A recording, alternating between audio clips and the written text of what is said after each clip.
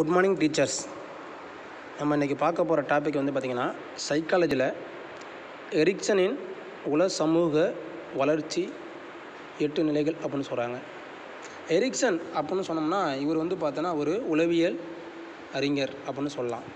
எரிக்சனுடைய வாழ்க்கை அதோடைய வளர்ச்சி நிலைகள் டெவலப்மெண்ட் எப்படி இருக்குது சமூக வளர்ச்சி சார்ந்த நிலைகள் எப்படி இருக்குது அதை பற்றி தான் நம்ம வந்து பார்த்துட்ருக்காங்க இதில் என்ன சொல்கிறோம் அப்படின்னா எரிக்சனின் உல சமூக வளர்ச்சியின் எட்டு நிலைகள். இப்போ ரஜினிகாந்த் ஒரு பாட்டு ஒரு பாட்டு இருக்கும். எட்டு எட்டாக மனிதன் வாழ்க்கையை பிரித்துக்கொள். முதலெட்டில் பிறக்காத அந்த மாதிரி ஒரு ஸ்டேஜ் அந்த பாட்டை மனசில் வச்சுங்க. இப்போ நம்ம பார்க்குறது வந்து பார்த்திங்கன்னா எரிக்சன் உல சமூக வளர்ச்சியின் எட்டு நிலைகள். ஃபஸ்ட்டு என்ன சொல்கிறாங்க அப்படின்னா ஒரு குழந்தையை மைண்டில் வச்சுங்க. அந்த குழந்தையுடைய மாதம் ஜீரோ டு பதினெட்டு மாதம். பிறப்பு சரியா? பிறந்த நாள் முதல் பன்ன பதினெட்டு மாதம் வரை.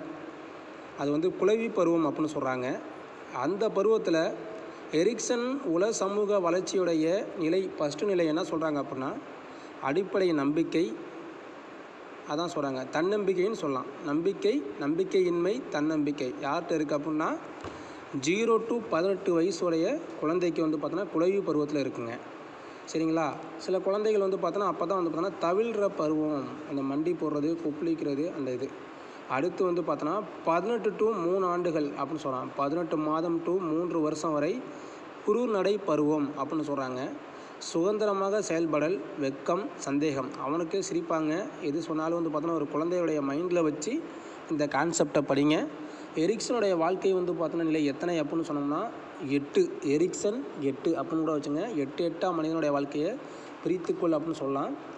டிஎட்டில் எம்எட்டில் ச டிடிஎட்டில் சரிங்களா? இதில் வந்து பார்த்திங்கன்னா ஆசிரியர் கல்வி உளவியலில் மிக மிக மிக முக்கியத்துவம் வாய்ந்த வினாக்கள். அனைத்து பல்கலைக்கழக தேர்வுக்கும் இது தேவை. TET TRB CTET NET SLET எஜுகேஷனுக்கு இந்த எரிக்சனுடைய உல சமூக வளர்ச்சியின் எட்டு நிலைகளை பற்றி வந்து பார்த்தோன்னா மாற்றி மாற்றி கேட்பாங்க. அப்ஜெக்டிவ் டைப்லேயும் வரும் டிஸ்கிரிப்ட் டைப்லேயும் வருங்க. அடுத்து மூணு டு ஐந்து ஆண்டுகள். பள்ளி செல்வதற்கு முந்தைய பருவம் அப்படின்னு சொல்கிறாங்க அப்போ தான் அவர் வந்து பார்த்தோன்னா ஸ்கூலுக்கு போகிறதுக்கு முன்னாடி பருவம். தானே முன் வந்து செய்தல் குற்ற உணர்வு அப்படின்னு சொல்கிறாங்க ஏதாவது ஒரு தவறு பண்ணிட்டாங்கன்னா அம்மா அடிப்பாங்க அப்பா அடிப்பாங்கன்ட்டு வந்து பார்த்தோன்னா ஒரு குற்ற உணர்வு ஏற்படுது அப்படின்னு சொல்லலாம். அடுத்து ஐந்து டு பதிமூணு ஆண்டுகள் பள்ளி செல்லும் நிலை. கடின உழைப்பு தாழ்வு மனப்பான்மை நிலை. சரிங்களா? ஒவ்வொரு ஸ்டேஜாக பார்த்துக்கிட்டு இருக்கோம்.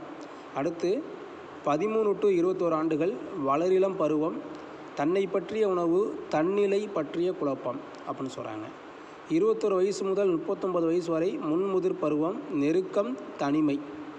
சரிங்களா? அதில் வந்து பார்த்திங்கன்னா வளரிளம் பருவத்திற்கு இன்னொரு பேர் வந்து பார்த்தோன்னா குமரர் பருவம் அப்படின்னு சொல்லுவாங்க. நியாயக வழிபாடு நாயக வழிபாடு ஹீரோஷிப் அப்படின்னு சொல்லுவாங்க. ஓகேவா? அடுத்து வந்து பாருங்கள் நாற்பது டு அறுபத்தஞ்சி வருடம் நடு முதிர் பருவம். நாற்பத்து டு அறுபத்தஞ்சி வருடம் வந்து பார்த்தோன்னா நடு முதிர் பருவம் உருவாக்குதல் முன்னேற்றமின்மை.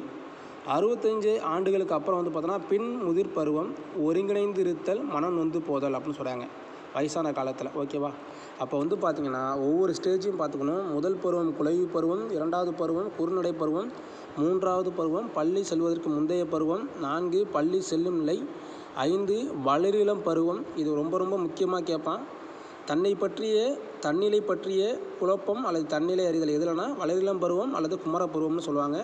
முன்முதிர் பருவம் நடுமுதிர் பருவம் பின்முதிர் பருவம். ரொம்ப ரொம்ப முக்கியத்துவம் வாய்ந்ததுங்க. அடுத்த கிளாஸில் வந்து பார்த்தோன்னா பியாஜே அறிதிறன் வளர்ச்சியை பற்றி பார்ப்போம். உளப்பகுப்பு கொள்கையை பற்றி பார்ப்போம். ஓகேங்களா? நம்ம சேனலில் நீங்கள் உங்களுக்கு பிடிச்சிருந்தால் லைக் பண்ணுங்கள் கமெண்ட் பண்ணுங்கள் ஷேர் பண்ணுங்கள் மறக்காமல் உங்களுடைய ஃப்ரெண்டுக்கு ஷேர் பண்ணுங்கள் நன்றி.